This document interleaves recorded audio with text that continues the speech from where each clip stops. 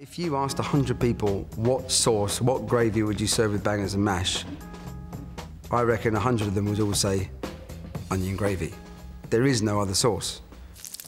In this pan, I've got the skin that we saved from the back fat that we smoked, and I'm going to add to that some of the reserved sausage meat.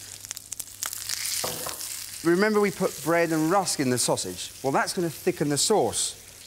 We're also going to get a wonderful gelatinous quality to the sauce from the skin and that's going to make it nice and sticky, and for me, that's really comforting. Leave this pan on medium heat for about 10 minutes. Just stir regularly. Be careful, because the skin might spit.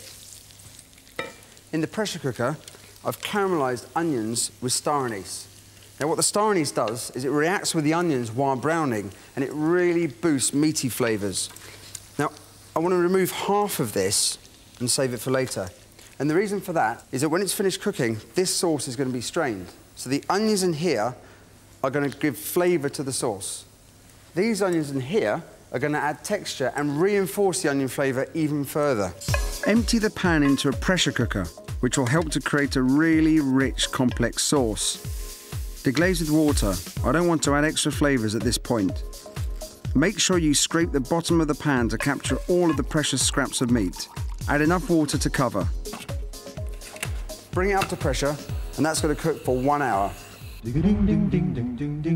We had a family barbecue, and my wife had put some potatoes wrapped in tinfoil in the fire. I hadn't even thought about that, and I thought it's so obvious. Just put them straight in the oven, whole potatoes, skin on, because you get that wonderful uh, flavour from the skin when you have a baked potato. These potatoes have been in the oven 180 degrees, depending on the size, somewhere between an hour and an hour and a half. Now, all you need to do is cut them in half and scoop out the flesh.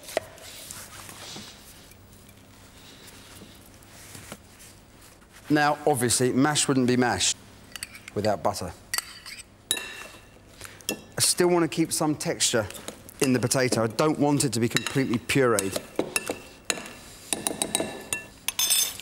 Be fairly generous with the pepper.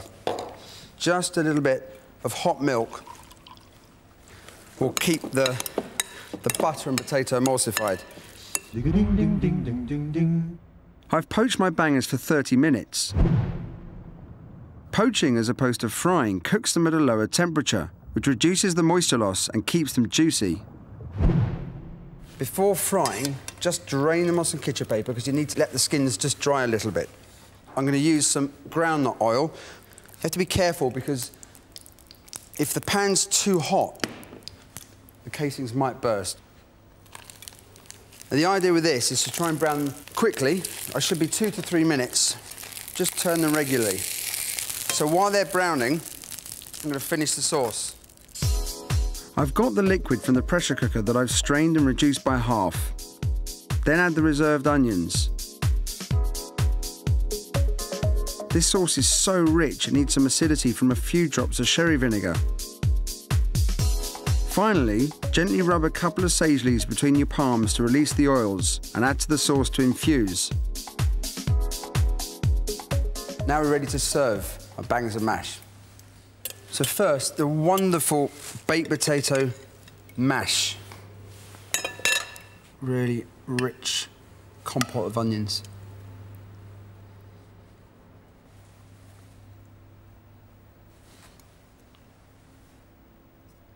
I'm going to cover it with more onions, make it even richer. There we are, my perfect bangers and mash.